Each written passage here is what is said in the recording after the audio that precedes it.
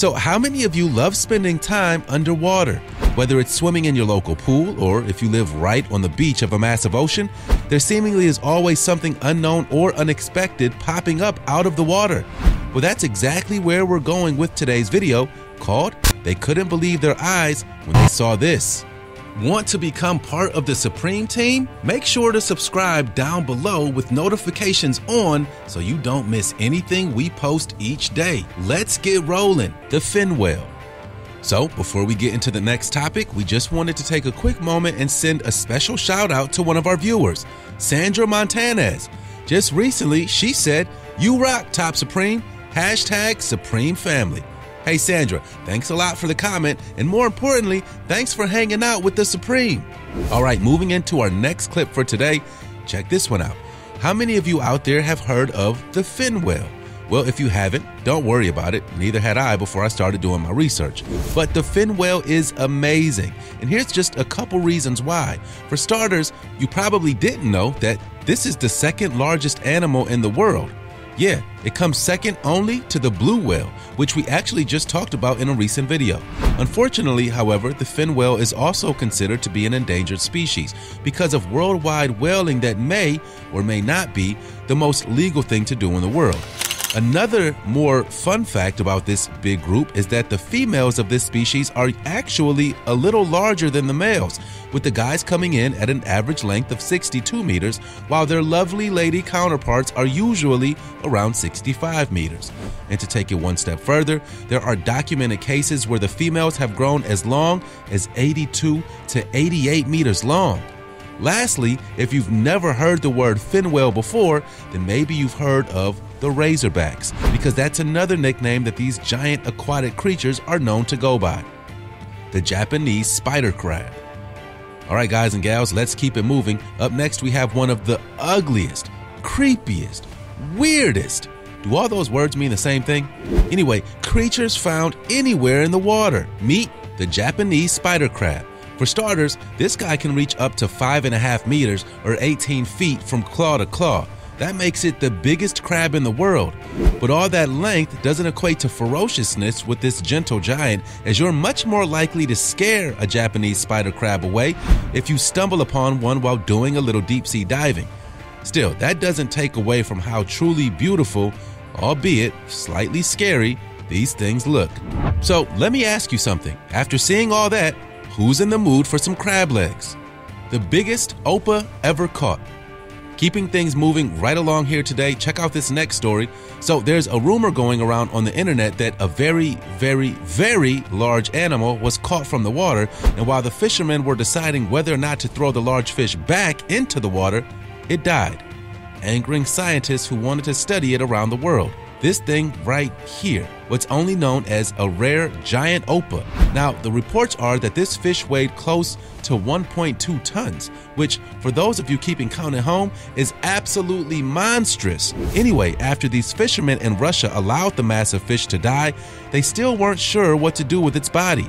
You can't just throw a 2,000 plus pound dead fish back into the water, right? Right. So they did what they considered to be the next best thing. They fed it to the bears. At least that's what's been rumored to be the outcome. So I know we have viewers from all over the world. Has anyone who lives or visited Russia ever heard this story? Weird, right? Unknown fish. Up next, we have what some experts are calling, due to a lack of a better term, a mutant fish.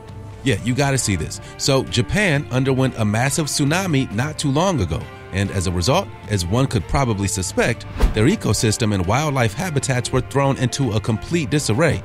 One of the areas most affected was around a nuclear power plant that, due to the tsunami and an earthquake, had to have the immediate surrounding area evacuated completely. Unfortunately for the marine life, though, there was no way to evacuate the animals living underwater. As a result of nuclear waste literally occupying the homes and breathing space of these poor animals, multiple weird and funny looking creatures began popping up, including this guy. The heck is that? This very large fish has a huge head and apparently zero teeth, and that big black eye looks extremely weird. No official name for this guy, so I guess if you want to take your best guesses as to what you think the name of this fish should be, then go right ahead. The blood belly comb jellyfish. Up next on today's countdown is a very peculiar sea creature that most people have never heard about, let alone seen. It's called the blood belly comb jellyfish, and it is remarkable for a multitude of reasons. First of all, comb jellyfish are typically found on the surface of the ocean, and they love floating in nice, warm waters. While there are over 100 documented species of this kind of jellyfish, there's one in particular that has astounded scientists for years, and that is the blood belly. Not only is the deep red color almost hypnotic in a sense, researchers marvel at this animal's ability to produce this beautiful light throughout its body. Crazy, right? The first known version of this particular jellyfish was discovered in 1979 in San Diego, California. So, have any West Coasters seen this rare breed? The hailstorm from hell. Let's switch it up just a bit for this next one as we find ourselves on a Russian beach on a very hot summer day. And when they say that it was a hot summer day, we mean it was one of the hottest days of the entire year. And this footage is from 2014. Out of nowhere, a freakish hailstorm springs up and forces the relaxed vacationers into a frenzy. And rightfully so. Can you imagine going from laying under the sun catching some rays to running for your life from what seems like rocks and pebbles falling out of the sky? Another beach story. Let's stay on the beach for just a few more moments as we find ourselves on Okaloosa Island in Florida. Before we move on, what would you do if you found yourselves alone with a shark? Yeah, seriously. A bunch of beachgoers rushed to the edge of the water to see splashing sharks that found themselves washed up on the shore. The sharks weren't very large, but still, we all know that the wild nature of this unique sea dweller can go off in an instant, and especially if they're aggravated. In the video, you can see one woman get close up to the sharks. She even, and I have no idea why anyone would do this, but she even splashed the sharks with some water. Yeah, I guess she thought that putting some water on this animal that lives 100% of its life underwater was going to do something. But yeah, luckily in this instance, there were no recorded injuries, neither to the people or to the animals. Wild killer whale. We've seen a little bit of everything on today's episode, haven't we? We've introduced you to species of animals that most people never would have guessed existed and also shown you some pretty intense encounters between humans and the life in the sea. We'll continue with the latter in this next clip that features a kayaker that stumbles upon a pod of killer whales. The kayaker claims that there were at least 30 whales all around, seemingly just playing around as they pass through the open bay. The person in the video seems relatively calm, considering so many massive animals are all around. But how do you think you would react in a situation like this? I mean, I'm no punk but I think I'd be sweating bullets right about now. The kayaker even claims that one of the killer whales looked directly at her while she passed underneath the kayak. Talk about a close encounter. Gone fishing. Well, hey there. Welcome to the final clip of the day. Check this one out. A group of guys are out fishing on their boat in the summer of 2017. They're out in Cape Cod Bay in Massachusetts when something, all of a sudden, starts biting at the end of one of the lines. The seasoned fisherman is taking his time reeling in the catch, and just as his younger friend goes to help out his buddy, a giant shark, what some are calling a great white, leaps right out of the water, snatching the bait off the line and swimming away with their catch. Well, crazy, right? Can you imagine that happening to you in real life?